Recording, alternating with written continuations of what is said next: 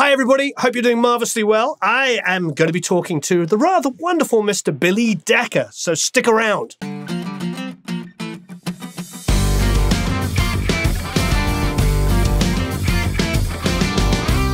Mr. Billy Decker, how are you? I'm great, Mr. Huart. How are you, sir? I am good. I'm good. I see you're sitting in your rather lovely studio.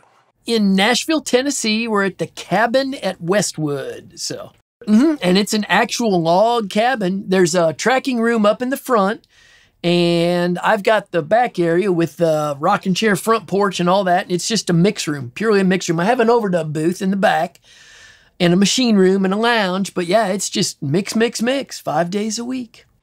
Fantastic. Well, before we get stuck in, and what what exactly have you got on there? What are those? What are those speakers? What do you use?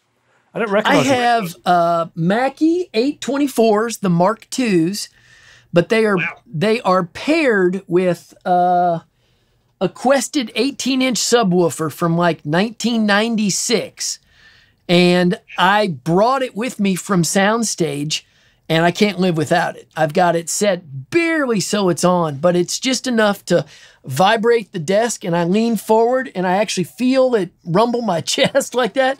And that's how I judge my low end. So if you ever see me leaning up in like a video, it's because I'm pushing against the, the armrest and trying to feel the vibration. I know the bass is right on. The middle speakers are called Wathen Audios and they were made down in Texas. Don Thomas created those, and they've got a tube power amp and everything. They remind me of old Tannoys, the kind of spongy, really fun to listen to, you know, where a snare drum is just, there's not much attack. It's just all top and all. It sounds like everything that you listen to through those sounds like Def Leppard. How about that? so it's a huge gated reverb on everything. yes, yes. Fantastic. So look, I've got to stop you then. So, so were the Mackies? How did you get into Mackies? Were they songs that you grew up using and it just stuck? They, uh, I had them at the first demo studio I ever started mixing demos at, and I got used to them. I migrated over to a studio called Soundstage and was in front of a like a 56 channel Pro Control, big Pro tools rig. And the studio manager came to me after I started really doing pretty good for the studio and brought them a lot of business. And he said, We'll buy you anything you want. So at the time, Chuck Ainlay was over there in the back room. And Chuck said, Try these speakers. And they were like, made out of metal and he had concrete speaker poured con I mean Chuck's like high end everything. I tried everything on the planet, you know? And I always kept coming back to these Mackies. I just could not wrap my head around anything other than those. So I politely went to the front, talked to the studio manager. I said, Hey, I know this is going to break your heart, but I just saved you tens of thousands of dollars. I don't need anything. I'm good with what I got. Let's just, if it's not broke, don't fix it. So fast forward to today, I upgraded to the Mackie Mark IIs. The original Mackies to me were 2D. These are 3D. So I can hear reverbs, I can hear a little depth with them. Uh, I tuned my room myself and I've got, I wired it myself. So everything's probably out of phase and buzzy and all that stuff. but you know what? Nobody knows the difference. You fake it till you make it, right? So essentially, the previous model and these ones have very similar similar characteristics. So you didn't really have to. They just, like you're saying, got an extra dimension to them. Correct. That's the way I perceive them. Yeah, 2D versus 3D.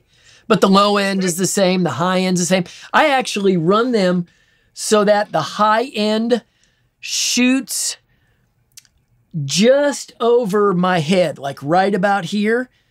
And my desk, I've got an Argosy console, and I've fallen in love with this through the years where if I sit in front of a, like our good friend Reid Shippen or Chuck Ainlay or whoever, you know, sits in front of an SSL, it's too deep for me. So I'm actually used to sitting closer to the speakers and I just, I could never wrap my head around it.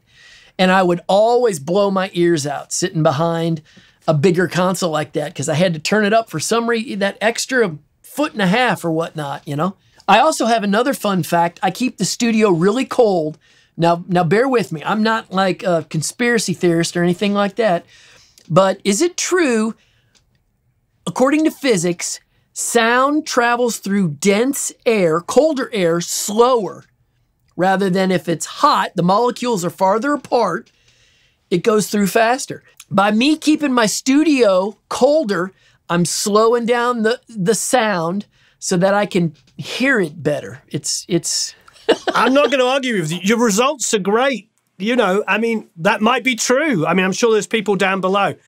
I actually thought about that one time and I'm like, there's a reason I don't mix good in a hot room. It's the weirdest thing. I always keep it cold. Otherwise, it just doesn't sound as good. And I, and I stopped and thought about it. And not only am I like dripping sweat and miserable and stuff, but I'm like, I think the audio moves slower. I don't know if that's true or false. I'm probably going to get called out in every audio blog all over the world. Well, you, if, if people did call you out, that'd be silly because you're not actually saying it as a fact. You're just saying you think it might be. I, I am really. I've got two instances with this. I have this old console down here, and it has like these four lights on it, which used to be attached to a studio. So one was the record ready, one was the record light, and of course, they're not attached to anything anymore. But we did an album, and one of the lights, the blue light, was on years and years and years ago. And when I was working again with that same producer, I engineered the record. I said to him, I said, last time we had a hit album, that blue light was on. He's like, turn it on. Even though we know there's no audio going through the light bulb whatsoever. It's just a psychological thing, isn't it? So you might be right, but it doesn't really matter. If you think you're right, that's that's all that matters. I mean, you think it affects it. I probably am. I've only been wrong twice in my life. Today ain't number three, Warren. Today ain't number three, Betty. no, I'm teasing. So you have the Argosy, and Yes. what what's going on there? What, what have you got going on in the back there? Uh, I've got a Pro Control. I've got the speakers. Uh, I've got a X Logic SSL uh, channel strip in case somebody does need to sing an overdub or whatnot. I have an overdub booth. Uh, and then I have my TV, which I always have on. And I always tell this story. I tried to work it into the video, but something happened. We didn't we didn't grab it. If I know I never talk politics, religion, anything like that, you know, on social media, in the studio, because yeah, it, it's just the it's the best way to never get called again, you know? You cannot win. So I tell everybody if I know you're right leaning politically, I'll put on Fox News, a, a conservative channel. If I know you lean left coming into the studio, I'll put it on MSNBC. If I don't know what you are, I put it on the tennis channel and we all get along. You know what I mean? Who doesn't love Roger Federer? Come on. We don't have a TV in here. We've we've threatened that many times. And Eric, who uh, who you've chatted with, he's a big LA sports fan. So if we had a TV back there, it'd be Dodgers, and then what's the hockey team? Kings, The Kings, Lakers. the Lakers. It would just be like Oh, yeah. 24 hour a day. That's awesome. You know, I think a bit of that is okay, especially with the hours we work. You know, sometimes you're in the studio for so many hours. Yeah, and if you, I mean, are just sitting in front of your speaker listening to music, uh, the world could be burning outside and you have no idea. There's a tornado coming, you know? We actually had a tornado here, and my neighbor up front in the tracking room, Nick Raskulinecz, he's a big rock producer.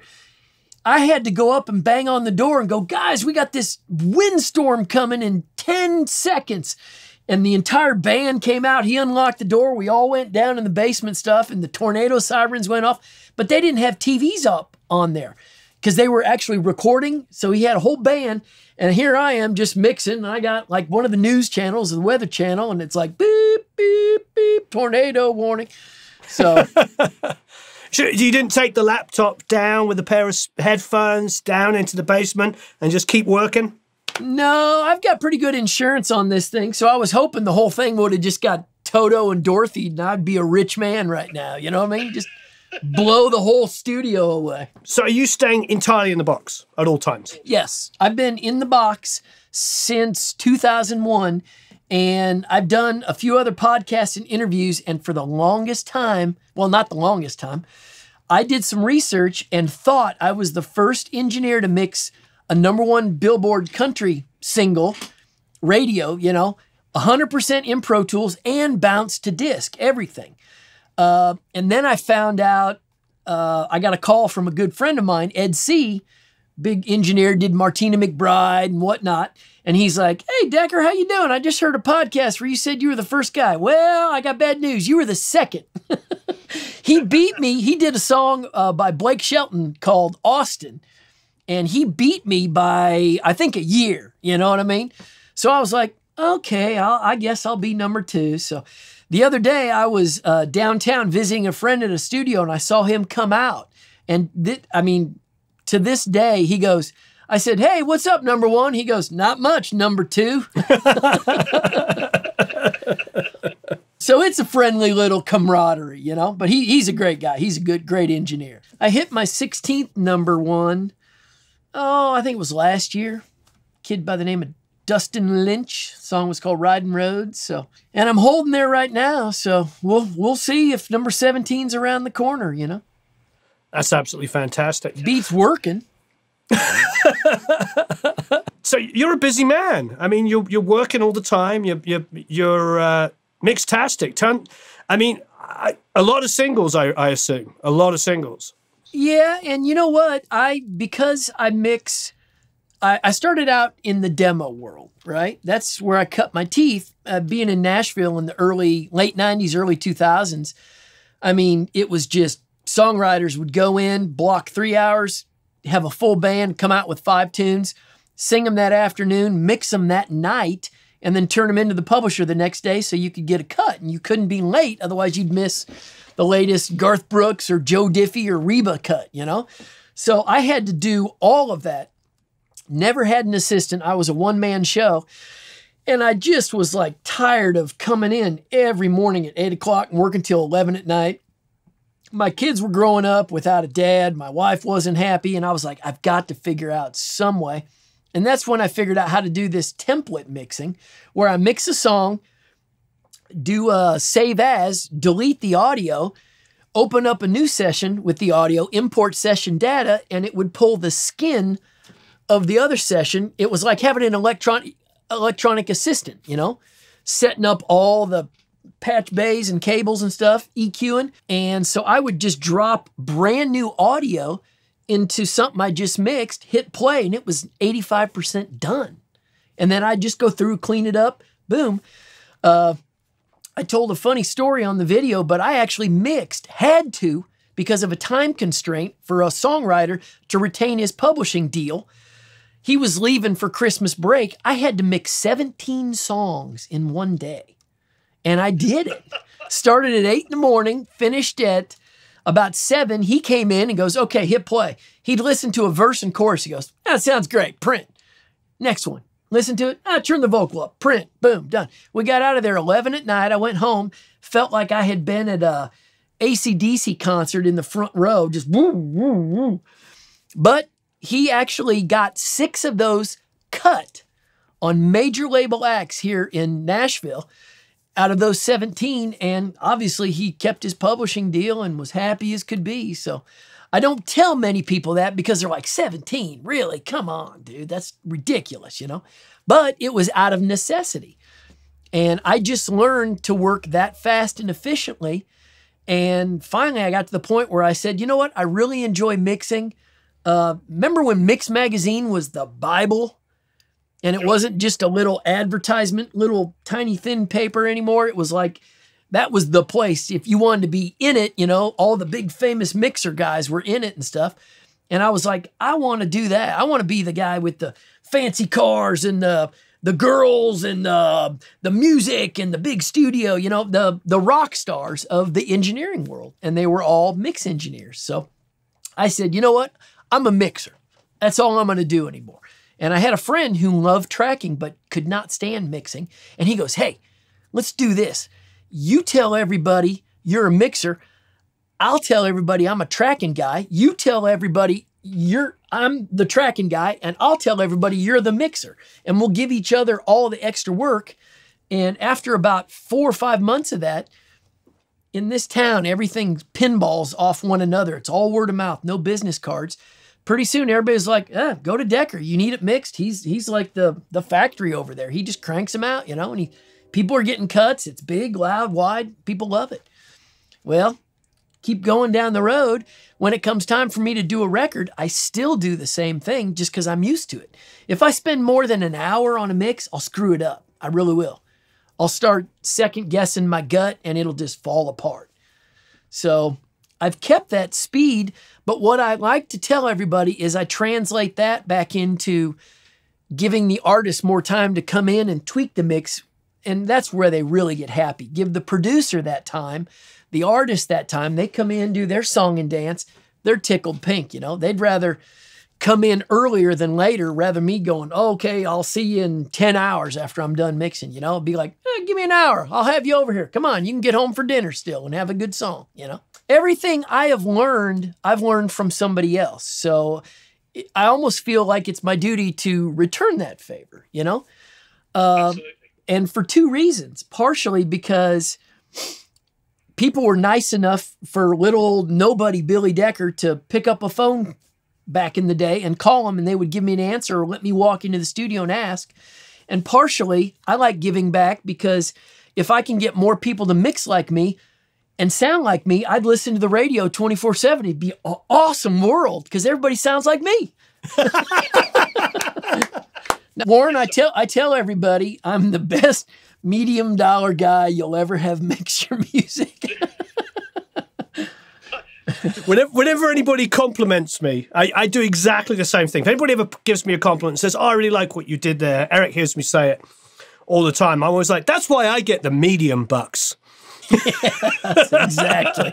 I, I, think being self-effacing and, and as you're implying, you know, standing on the shoulders of giants, you know. Sure, sure, sure. You know, we go back to like 40s, 50s, 60s, you know, all of those all of those guys and girls that were just kind of inventing what we do.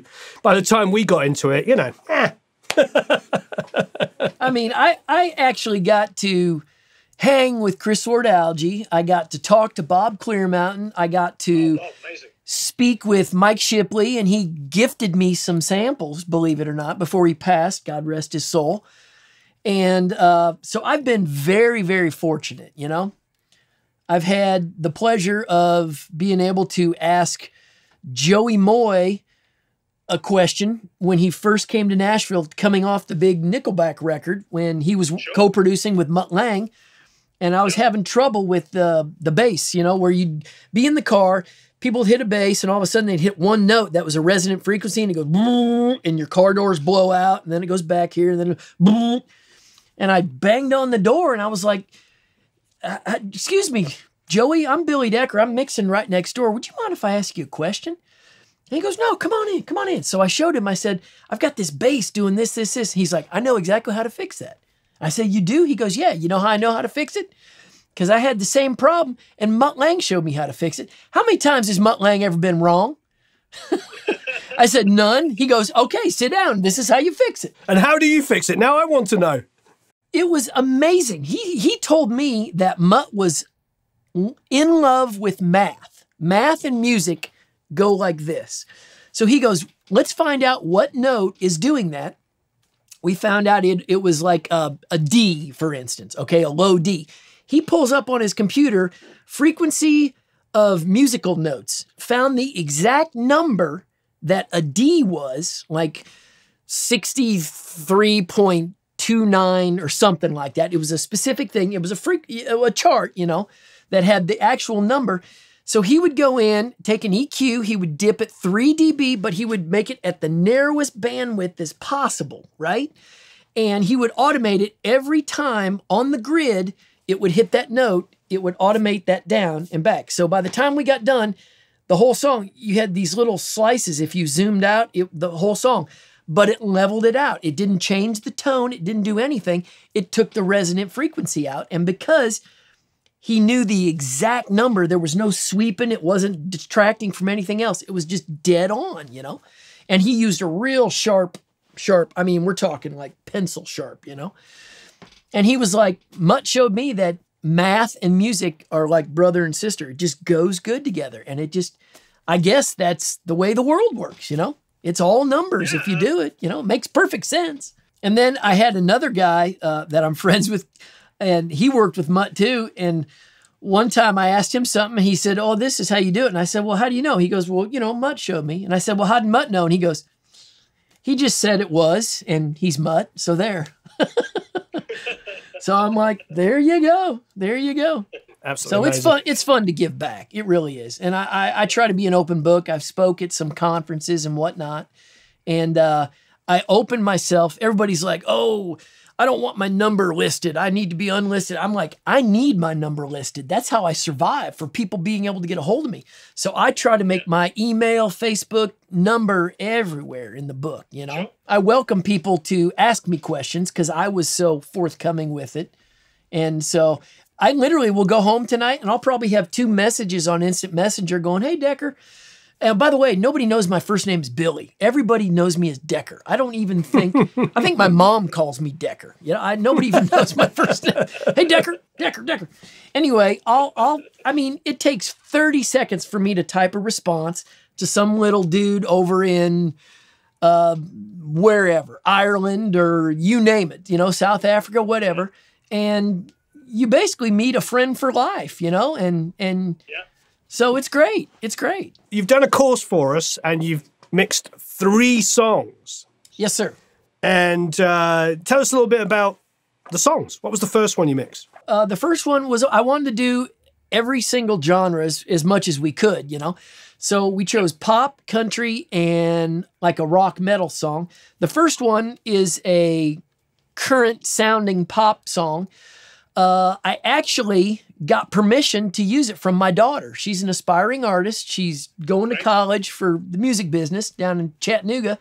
And uh, she writes with a bunch of people down here and has some publishers looking at her. The only problem is she's like, Dad, I can't stand country music. She's like, I hate country. I'm like, you do know that I probably know somebody I could maybe call and help this process. She's like, nope, nope, I'm doing it on my own. I don't, I, I like pop music. I like singer songwriter. That's my thing. So anyway, she wrote and uh, a couple younger pop producers worked on this track with her. What his name's Cole Phillips. He's here in Nashville. Great millennial. You know, he's one of the, I, I tell everybody he's one of the two millennials I like. I can't stand the rest of my life, but there's two I like, and they both work with me. No, I'm teasing. All that was programmed, by the way. It was programmed top to bottom. You know what I mean? Not a not a real instrument on it. It was programmed other than the vocals. Uh, and then we jump over to country, which was a full on.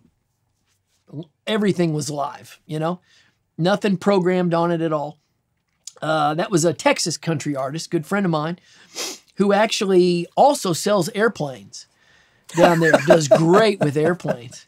And I called him up. He's like, "Oh yeah, he's he tours around, has a bus and everything down Texas. Never even has to leave Texas. Just tours around, makes a mint selling it. I mean, like airplanes, if you know what I mean, like jets." Sure. And uh, so anyway, he's like, absolutely, absolutely, love for people to hear what I do.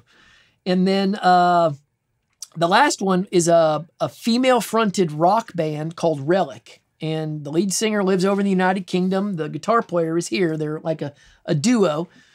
And uh, I got to actually co produce that. So I had a pretty good handle on Nice. how to do it. But I used the same template and the same approach for each one and showed that it's the main difference is the source material. You're always going to put an EQ on, you're always going to compress, you're always going to limit, but the source material really dictates how you're going to sound. And that's the strength and the, I guess, for lack of a better term, the beauty and the ease of working with these templates. You used the same template for all three songs. I did, yeah. I called them a different template, I just so they could be denoted and people could know. Oh, we're doing pop now. We're doing country. But yeah, I go through and when you see it, you're like, oh, that's the same exact two bus he did. But pop, we loosened up the Kramer PIE compressor to two to one as opposed to three to one because three to one always pinches my pop too much, makes it smaller, doesn't resonate that lower the 808s and all that type of stuff, the key basses and stuff. So we went two to one on that. On the metal song, we hit three to one and we laid that needle back a bit more than we normally do. The country one, we went three to one and we just barely, barely got it going. So it's kind of cool to be able to see how you're using the same exact stuff, but you're just driving into it maybe a little harder per the source material and changing just a few things. But boy, for the most part, you know. But you're also bussing before the master bus, so you're taking your drums and bussing. Correct. taking- yeah, yeah. yeah. We've got subgroups, we've got parallel compression. I can't wait to take this course. It's laid out just like you you can't believe it, you know. I'm I'm going to use your template from now on. That's it. I hope you do. I hope you do. Like I said, then I'm going to listen to the radio every day because it's going to sound awesome. Sounds like me. So so wait there. So you've got a line of plugins. Joey Sturgis made them, JST, and he actually uh, came and uh, he and I became friends. And uh, he sat in on a session when he was down visiting or something, and actually was like, you know what, you and I are almost identical the way we mix. It's just I do metal and you do country. But he's like, I've never really, he's known for metal. And he goes, I've never really dove into country. And I think it would be really cool to give you your own line of plugins. So we mimicked each of my channels. Do you use those plugins on this mix, or are you oh, using? Oh, yes. Yeah. Okay, good. I'm I'm probably I'm not one of the few, but I actually buy almost every plugin I've got. I mean, at this point I can get stuff for free, but I always love endorsing something that I can put my mouth and money towards, you know? Sure. So uh, I use my plugins religiously because they're very efficient with the DSP. So, like my electric plugin has an API EQ model, a clip clipper, JST clipper, and then a limiter, like an L2 style, you know. But the my plugin has a fixed EQ curve because you can't change the EQ. So if I put it on, it sounds great. That's awesome. I'll use mine. It's way more DSP efficient and it's more modern and stuff like that, easier to use. Uh, but if it needs to be brightened up or something like that, or doled out, or it needs a little tweaking, I'll have to go back to my original signal chain to really get in and surgically dial it. If need be, I can just put possibly that API in front of my plugin and brighten it up just a bit, and then we're there, you know? So you'll see me do that where I actually used my plugin and I was like, nah, this doesn't sound as good. It doesn't work for this song. So I took it off. I lost $4.22. You know what I'm saying? I just, I lost a sale. I, I just killed my own career. I told people not to buy my stuff. So what you, what you, what have you been working on at the moment? What are you uh, outside of what you, we're doing together? What uh, what have you been mixing? Uh, let's see. I just finished up a fella on uh, Sony. His name's Andrew Jannakos. He was on The Voice, didn't win, but he became uh, one of those viral TikTok stars, you know, and Fantastic. got signed to a record deal. And his first single's out right now. Uh, I came out about a month ago, I think. It's called Gone Too Soon. And that's out. I just finished up some more Rodney Atkins stuff. Uh, he's got a new duo with his wife called Rodney and Rose that's really cool. And that comes out real soon. I did a new Eddie Montgomery single. I did uh, Colt Ford. They're both on Average Joe's Entertainment. I did some Canadian stuff. There's a band up there called the Road Hammers. My day and my schedule, I kid you not, Warren, I'm not one of those guys that you call and say, hey, Billy, can we have you mix something? Can you book February 22nd through the 20? No, I'm just like, no, no, no. Just call me, you know? I tell everybody because all I do is mix, I'm 100% in the box.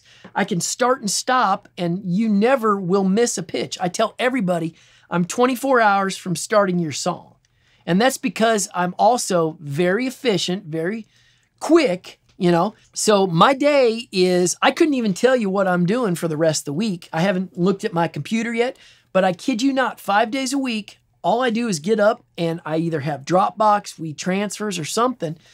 And I mean, there's exceptions to the rule, but for the most part, every I've been around so long, everybody knows me. I've got my niche, you know, and people just they don't even ask anymore. They just say, "Decker, I got two, go." Do you have an assistant, or do you just? I don't. I don't. I've never had an assistant. I tried, and the bad thing with that is I found myself talking to him or her more than I was mixing, and I kept getting distracted, you know? So I do have uh, a couple, those two favorite millennials I was telling you about. And uh, they we kind of have a deal where I'll let them use the studio and they'll come in and bounce down my versions, do the stems, for the label delivery and stuff like that, you know. But yeah, it works out great. It works out great. They're they're super happy because they have a place to work at, and I never work weekends, and I hardly ever work past six or seven at night for the most part. You know, That's what I was going to ask. What time are you starting in the morning? I usually start. Uh, well, I used to be the guy in. I would drop, get up six thirty, drop the kids off to school, get in, mix as fast as I could, and try to get home for dinner and play with the kids before it got dark. You know, especially in the summer. Um, so I used to be a very early riser, and the cool thing is, Music Row, Nashville doesn't even start till ten o'clock. So I would get in 8, 8.15, 8.30. I could have a couple done before during quiet time. You know, nobody was bothering me. The phone wasn't ringing, stuff like that. Now my kids are grown and gone, em- being empty nesters. I purposely avoid rush hour traffic because Nashville's gotten horrible. You know, I mean, it's not as bad as LA yet, but I was about to say, your I, I, I go to Nashville fairly frequently, and your idea of horrible is our idea of like, what a beautiful, hardly any traffic on the road. Yeah. now see, uh, to me that's bad here. But yeah, no, I I, No, I know, I know. I'm just teasing. I I would waste an hour, no kidding, sitting on the interstate. So I purposely avoid it and I try to come in 10, 11. And then I'm usually I work past rush hour on the way out, which usually goes till 6:30 or 7. So I'm usually home 7, 7:30. So I still work the same amount of time. I just shifted the time I come in to the time I go home, you know? And that way I can get home, watch Netflix, eat dinner, and drink an IPA or you know, whatever. Well, we're gonna we're gonna put a link to your book as well. Link to the course, link to the book, you name it, the, the whole schnizzle. Well, I was honored to have you ask me to be on. It's fantastic. So No, I'm, it's I'm great. a big fan. I'm a big fan. I'm a huge I'm a huge fan of yours, and I'm very excited for this course because I, I'm going to steal from it. I really am, and I do. I do use templates because I mix in two different ways. You know, I mix either entirely in the box, increasingly, or through the console, and the console tends to stay pretty stagnant. You know, gear tends. So to, it is a to put away. template. It is a Yeah, template. so it becomes a template. It is your template. Yeah. Yeah. You know, and I, I learned that from watching all of the guys we were talking about earlier that just literally are just doing fader rides. Um, but there's something about, let's be honest. I mean, you just talked about, you know, the, what you were talking about with Mutt, finding that specific frequency. That only really works in the digital world because in the digital world, you can type in the exact frequency and pull out the exact cue so fine. You know, it's, yeah, so it, it's it's one of those things that um, you know I love being able to work hybrid. So I do all the fine stuff in the digital world, and then all the big kind of glossy, add some air, get some low end, use the SSL bus compression. So do there's broad nothing like strokes. So what do you use on your bus? Talking of that, then what do you use on your master bus? I use an EQ, a Sonnox EQ. The V. I use a VST plugin for that. Yep. I use it to high pass, low pass. I add just a little brightness, maybe a dB or two at 8K, and then I go down. Uh, I talk in the course. Most EQs have detents and they're preset like 60 hertz, 125. So I always try to now that we can get in with these digital models, I always try to go just a few numbers below or above so I sound a little different. So instead of 60, I'll do 58 or 62 or 63 and a half, you know? Just kind of dance around there just so it hopefully it sounds a little bit different. Uh, but then I throw a Kramer PIE on and that's got a fixed attack and then uh, I use the fastest release possible, 100 milliseconds. Uh, then I go with the Oxford, Sony Oxford inflator. And I don't know what it does. It just does. And it's Magic, yeah. yeah, I, I have no idea. And then I usually, uh, if I really want to go crazy, I'll put a clipper in between that and then the iZotope Ozone maximizer. I use that and I use IRC2 nine times out of 10. Uh, and I just knock it back a few lights, you know, and make sure it's true peak limiting, all that stuff. Turn on the transients by 50%. But you can actually get stuff ridiculously loud if you put that clipper in between that and the it's an old metal trick where these guys are mastering themselves, you know? And I mean Yeah, it, it yeah. just it it, it tears your head off. It's crazy. No, it's great. Well, we've had we've we've had many many long conversations with people about you know about what what people consider top down mixing, and what I keep telling them, and hopefully you can uh, hopefully you can back me up on this is what you're using on a mix bus is there because everything you're doing beforehand is controlled. One of the things that scares me is with the top down mixing being taught is they'll start off with your master bus like that and then just kind of mix into it. And what they don't realize is like you've controlled like eh, bussing drums together using parallel, like you were talking about earlier. All this stuff is going on. And then this mix bus is just tap, tap, tap, tap, tap. But starting fresh, it mixing into it is just foolish, obviously, because it will just you know, you'll just end up like Ozone will just turn down. Oh, you know, yeah, yeah, yeah, yeah, yeah, yeah. I usually loosen up. I leave everything pretty much as is on that master bus, and I'll loosen up the Ozone, and then I'll just once I get where I'm close, I'll tighten up the Ozone, and it always just takes that vocal and pushes it a little bit forward, and it's like we're done. So, and then I'll, I'll if I need to send to a mastering house, I'll loosen up that to zero, take off the Ozone, you know. And then uh, if they want a Decker master, just to save money, you know, I just print it at 16441 and say Matt Decker mastered for upload to Spotify, you know. And a lot of times, I'll be honest, I've got a lot of mastering engineers that are my friends and they've kind of showed me what they've done. And I don't claim to be a mastering engineer, but they taught me enough where I can offer that service to my clients, you know? So if they can't afford to go to an outside mastering facility, I provide them with one and it's just added value, you know? And they're like, thanks, dude. Appreciate it. You saved me a couple hundred bucks or whatever, you know? Yeah, no, I, I, hear you. We have a thing called Spitfire Master, named after the studio. And so sometimes on our mixes, you'll see SFM, Spitfire Master. And it's it's similar kind of process where I'm I'm I'm using compression, EQ, a little bit of clipping, and then some limiting on the end, and it gets loud. Um, but I do it because probably precisely the reason you do is you know your people are listening to your mixes alongside professionally mastered, already released things, judging your mix on it. So I just got used to having to do that. Yeah, yeah, and especially when you're mixing demos, you never want to be quieter than the song before you or the yeah. the one after you yeah. louder, because then you just loudness really does fool people. Louder is better, you know. So I spoke at a conference and I had these kids send me some uh, glasses with inscriptions on them, like a glass set to drink out of. One of them said "Kick drums sell records." One of them said "Louder is better." And then the last one said, We're not trying to put a man on the moon. We're just trying to get him on the radio.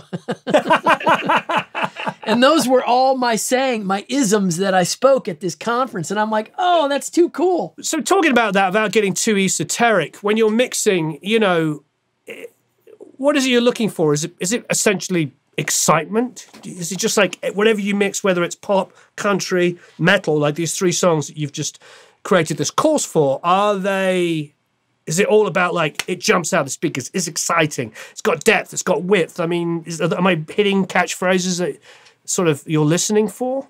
Yeah, it just it, it's weird to me. I've all I grew up on all that stuff that was like larger than life. You know, the Def Leppards, the Bryan Adams, uh, the all the super super hypey stuff. You know, I always just gravitated towards that. So that's what I try to do. I just try to make something larger than life and make it make it sound like when I was growing up, going into a recording studio was kind of like the Wizard of Oz behind that green curtain. You had no idea what was going on. People would go into the studio, they'd come out months later, and it'd be like, oh my gosh, how did they do that? There's like fairy dust and magic and elves and all that. You know, how did they do that? And so I try to recreate that every time I do something. Now, whether or not I get there or not, I don't know, but I try. And that's like when I EQ, I always equate a little bit brighter than normal as excitement, you know? I always try to make stuff just kind of a little shimmery, shimmerier, if that's a word, or whatnot, you know, and just kind of like exciting to listen to. That's that's that's a good way to put it, you know do you do any other tests? Do you get out of your environment? Do you go and sit in your car ever? Do you put on a pair of headphones and checks? Do you do you do the trick of playing the music and then walking out of the room and listening? Is there any kind of little things, especially if you're a little unsure? Is there anything you do? There is. I actually every time I mix, I pipe everything through that 1999 boombox with line ins.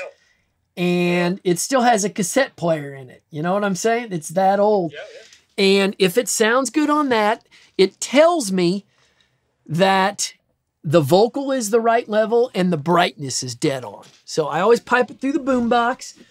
Uh, I always listen to everything on the drive home, even after a long day of mixing. I still am so used to my car stereo that I will listen to it. And I recently got a different vehicle about four years ago, and I bought it for the stereo. And the reason I had to buy it is because my old stereo in my car, I had it for so long, the drivers were rotted out and they were clunking against the thing. So here I am, supposed to be an audio engineer mixing stuff for the radio, and I got a blown speaker in the back of my car that I'm referencing people's mixes on. So I'm like, uh, now we better get a new a new system and, and patch that up. So, but I got so used to it that I knew if it was bass heavy, bass light, even with a blown, torn woofer, I still knew the way it sounded. I've got a friend who is constantly changing speakers. He chases the latest, greatest thing. And I'm like, how do you do that? I mean, I've sat here and I can do this, and you, you may not like my mix, but you know it's going to be consistent. You may not like what I do, but it's like you're guaranteed a decent product. And that's because I know this like the back of my hand, this room. I've been in this room for eight years now, you know, and before that I was 17. And I've got the same gear I was using in the other room. So if I had to change monitors and, and setups, all I, I'd be lost.